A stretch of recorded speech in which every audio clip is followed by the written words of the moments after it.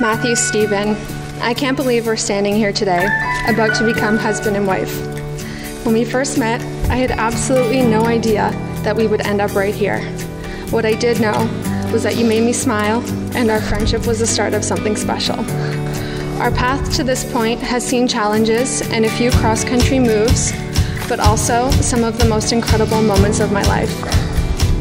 You've taught me so many things, like the importance of having hammer going into the final end of a tied Brier championship, but you've also taught me not to take myself too seriously, that it's okay to make mistakes, and that Georgie's cuddles can make anything better.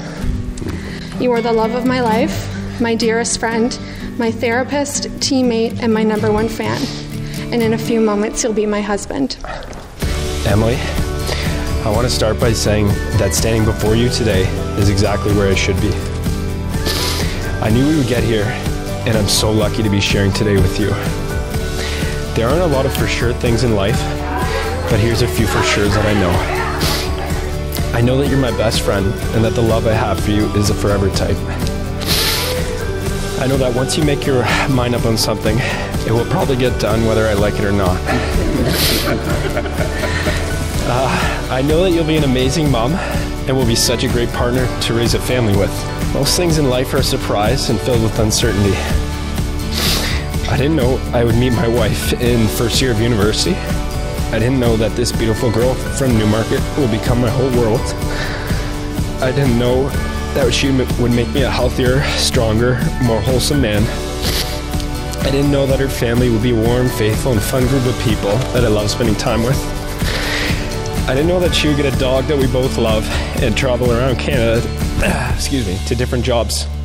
I also didn't know that my mom would get sick, and I didn't know how bad it was, but I knew I had to get home. Emily, I knew you would support me. However, I didn't know that you would react with such strength and compassion. You were unwavering in your support, and it made me fall even more in love with you. You didn't hesitate to leave behind a job, to move back across the country and start over watching you handle, sorry, life's problems makes me so excited to continue my forever journey with you. Emily, I don't know, I don't know if our lives will be perfect. I don't know if we're going to be happy with each other all the time and get everything that we want. I don't know what God has in store for our future family. I also don't know if we need another dog, but we can talk about that later. but I do know that you can count on me. Emily, I want you to know that as long as I live, I'm going to love you. I'm going to protect you. I'm going to devote myself to being a better person for you and support you every step of the way.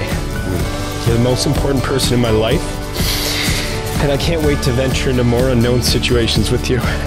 I'll let you see that this love for you is strong, unwavering, and entirely yours for as long as we both shall live. By the power vested in me by the province, it is with great pleasure that we can now pronounce you husband and wife. You may kiss the bride.